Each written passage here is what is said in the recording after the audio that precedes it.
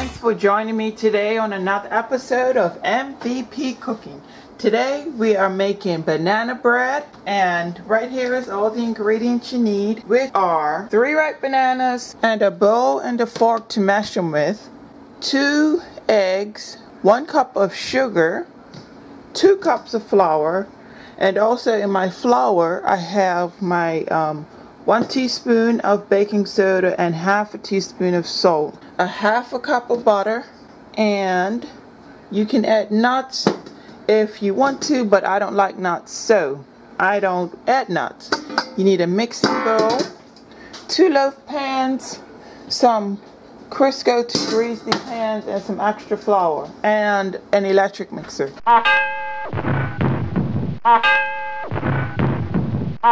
You want to preheat your oven to 350 degrees. Okay, now like any good cake, you start off with your butter and your sugar. And you mix those together first.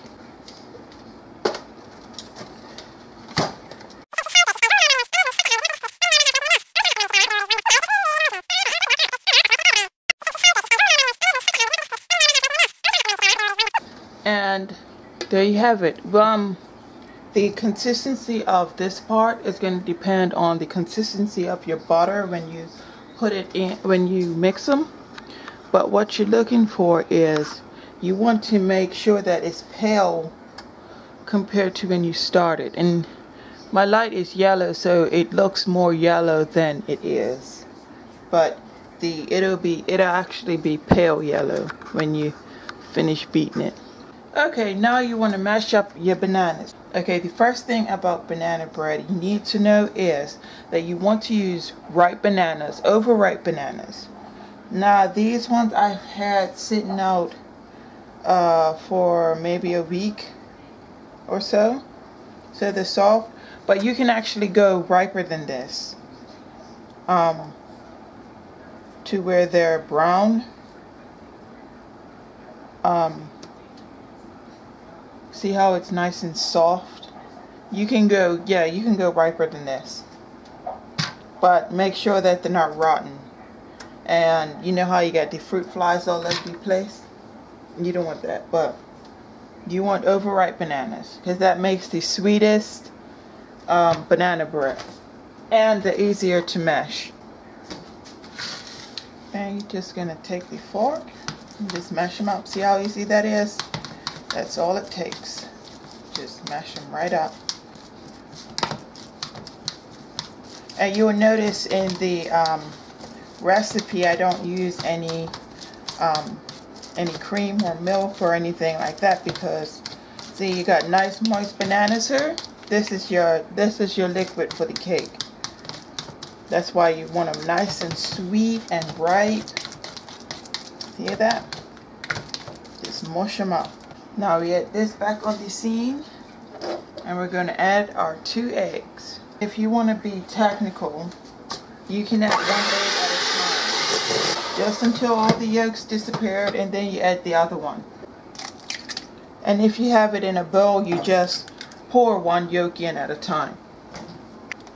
Then you're going to add, you add in your bananas.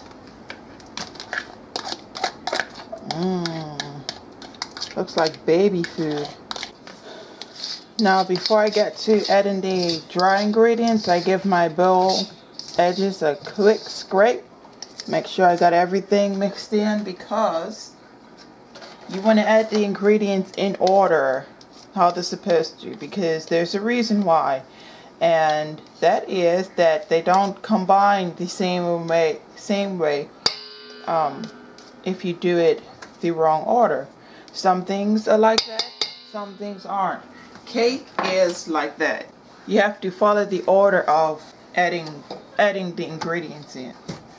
Now if you watch my blueberry recipe, um, you would notice that I just put everything in together one time because it doesn't matter with pancakes. So some things it matters, some things it don't. Now before I add this, you just give it a stir some recipes will say, oh, well, you have to put them, mix them in a separate bowl and whisk. No, you don't have to whisk. You just have to make sure that the baking soda is mixed in with the flour. Now I like to add my flour in a little bit at a time because if you add it in all one time it can dry out your batter. And also you can double this recipe. If you were wondering, because not all recipes you can double. And also a tip, like I was saying before with the ripe bananas, if you have overripe bananas and you don't want to throw them away or waste them, banana bread, that's what you're going to do with them. Okay, so this is the finished mix. Mmm, look at that, that looks yummy. Smells yummy too. Ooh, I can't wait to have my banana bread.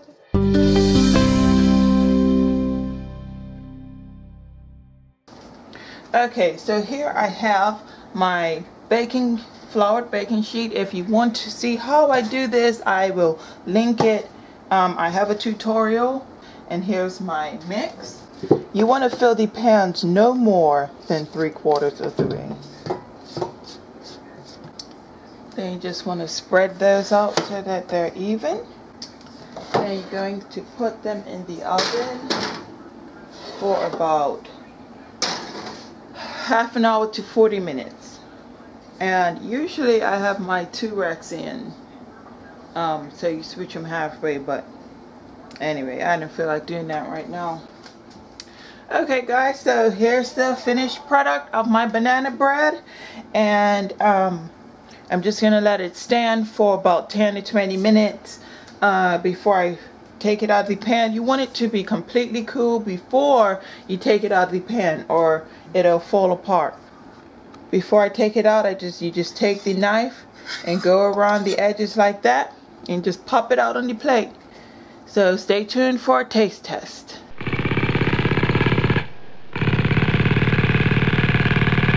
This is Mokey's banana bread that she made and I'm gonna test taste it. Ready?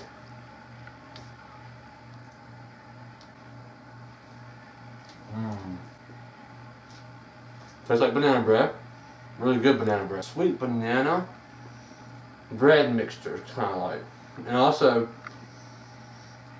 it's moist, not dry, and really good. I really like it.